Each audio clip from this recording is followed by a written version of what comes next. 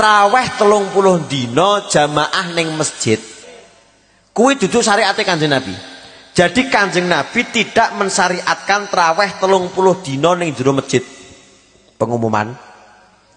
Kanjeng Nabi traweh neng masjid ki mek telung dino jadi ketika hari pertama poso beliau sholat dewi asli nih orang traweh bareng no gak orang nyuruh sahabat ya sholat dewi tapi sahabat nyawang lagi kanjeng Nabi sholat dewi raja ajak akhirnya para sahabat moro melu jamaah.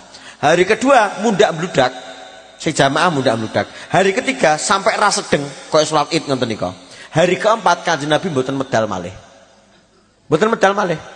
Sampai subuh kanjeng nabi lagi medal. Terus sahabat-sahabat sambat jenengan niku ditenggoket wau malah mboten medal lho kanjeng nabi. Aku wedi lek traweh iki tak terus-terusne salat iki kok diwajibne karo Gusti Allah Akhirnya kanjeng Nabi cuma sholat tiga hari.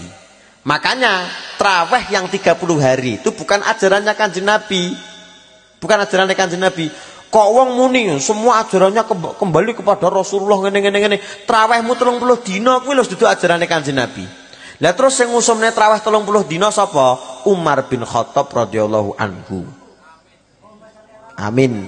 Umar bin Khattab kuwi pas masa pemerintahan Umar jadi program traweh berjamaah kuwi wis dijokne zaman Abu Bakar